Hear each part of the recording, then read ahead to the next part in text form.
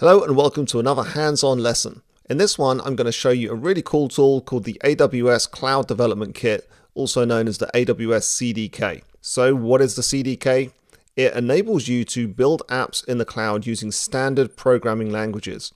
So it supports some languages that many developers will understand from inside or outside of the cloud world, such as TypeScript, JavaScript, Python, Java, C Sharp, .NET, and Go. You can use these languages to create reusable constructs. That's the terminology. As you can see on the right hand side, we have an app. Within that, we have a stack. And then within that, we have constructs.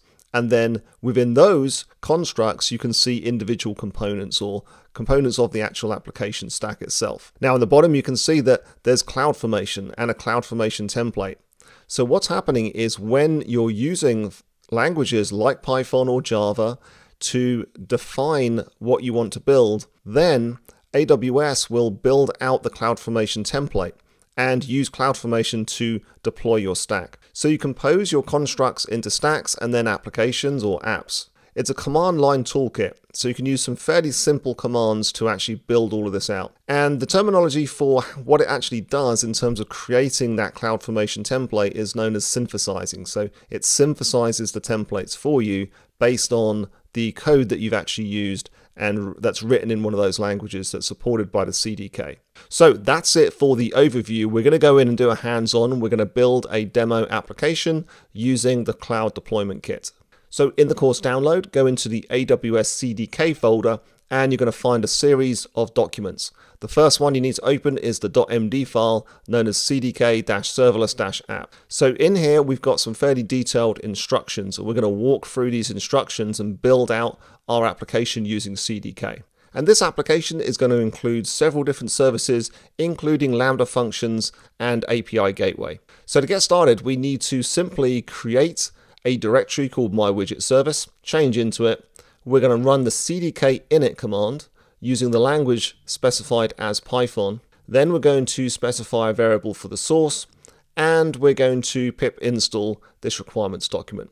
So let's go ahead and do all this. Now I'm going to do all of these commands, everything that's on this page here using AWS Cloud Shell. So I'm in Cloud Shell in North Virginia. I'm going to run the first command, change into the directory I've just created, run the CDK init using the language as Python, and we can see this is already starting to create some components or some configuration for our application. So what I can do now, if I just clear the screen so we can actually bring the cursor back up to the beginning, let's have a look at what's in here. So just by running that command, we've now got an app in the Python document here. We've got the cdk.json, we've got a folder called my widget service, and then we've got some text files and an MD file. The next command on line 7 is to run the source command, specify that, and then next we're going to run pip install dash r requirements.txt.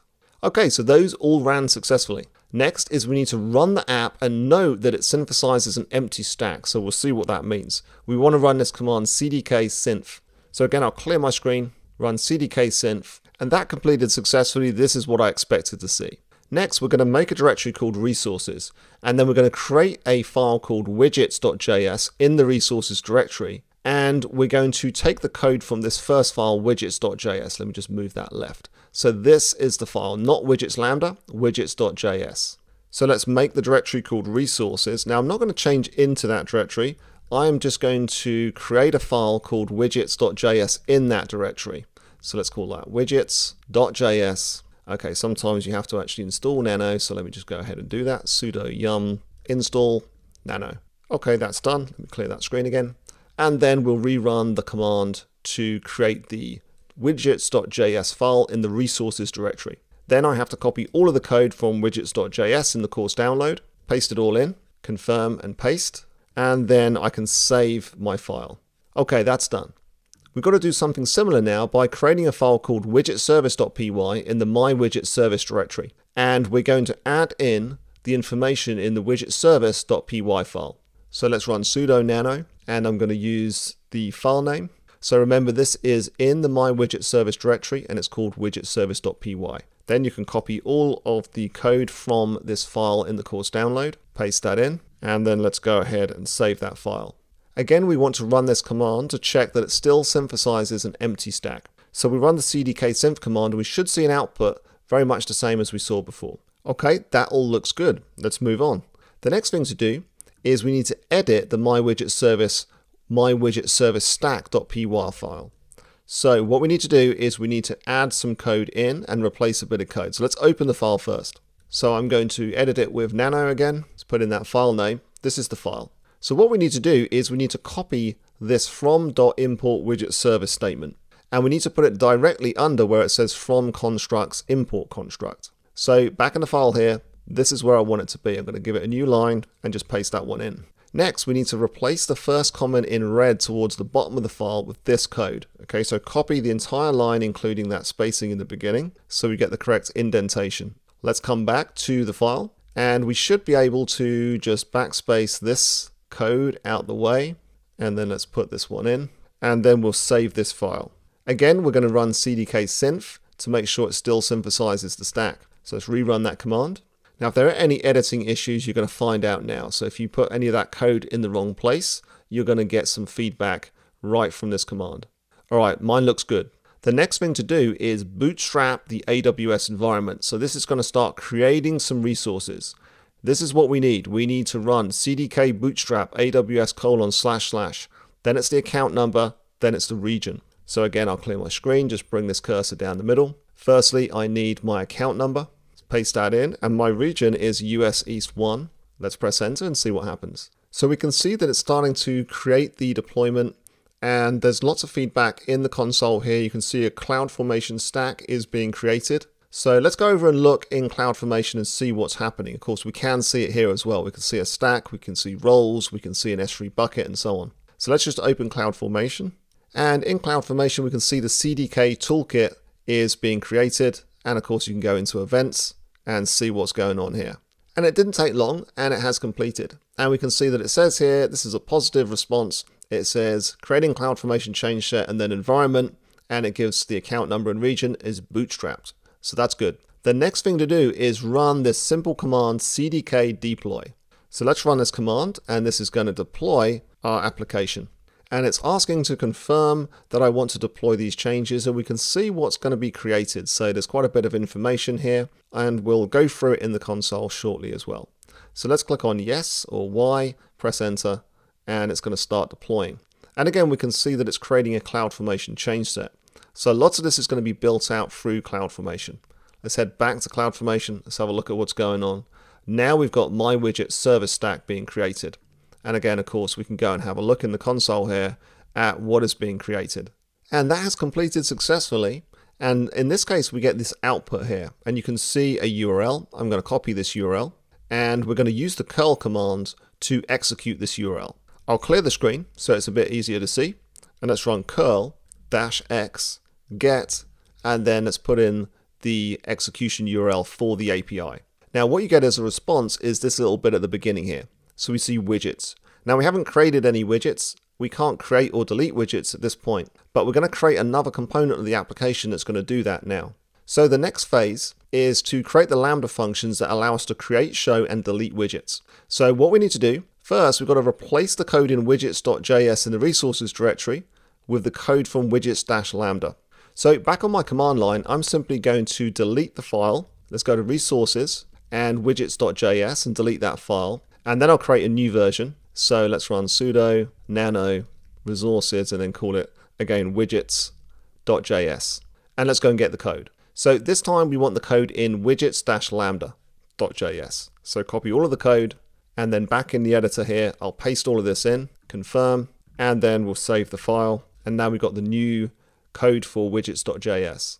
The next thing we need to do is add the following code at the end of the mywidgetservice slash file. So let's open this file in Nano. So I'll open the file, and if we just go down to the bottom, and we're going to add the code in straight down here at the bottom. So under where you can see this get slash in red. Now copy all of this code, including right the way to the beginning of line 38, because you need the indentation. Let's come back, let's paste that in, confirm, and that's exactly what I wanted to see. So let's save this file. And then the last thing to do is to run cdk deploy again. So let's deploy the update to the application. And again, it's going to ask us to confirm. We can see some of the resources that are going to be created here. Let's type Y, press enter, and it's going to go off and do it. And again, it's going to create a CloudFormation change set. So again, we can go back to CloudFormation stacks. Let's just review what's going on here. And here we go, we've got an update in progress. So the My Widget Service stack is being updated. And that has completed successfully. And again, we get this execute URL. So let me just copy this URL and I'm going to clear my screen and I'm run curl-x get, put in the URL, and again we get widgets. But this time we have the capability to add and delete widgets as well. So back in this file, you've got the commands here. Essentially we can get, which means obviously retrieve, post is to create, and then get is to retrieve again. So you can then create a widget, call it whatever you want, and then get that widget so you can actually see it in the command line and then you can go ahead and delete as well. So I'm going to try running curl dash x post and then I'll give it this URL and then add on my test widget. And so that's created a test widget. Let me rerun the get command.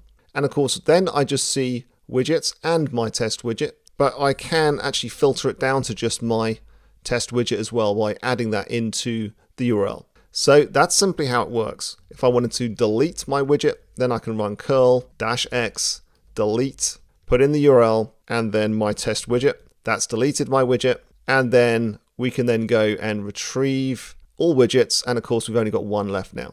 So it's quite a simple application to show you how to use the AWS CDK. And before you delete it, I encourage you to go and have a look through CloudFormation, all the resources that were created.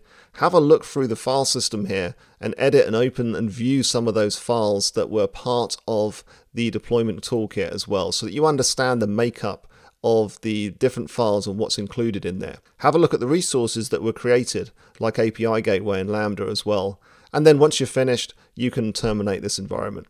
The very last command to run is cdk destroy and that is simply going to take everything down. So back in my console, I run cdk destroy, and that should clean up all of my resources by taking out all those free CloudFormation stacks.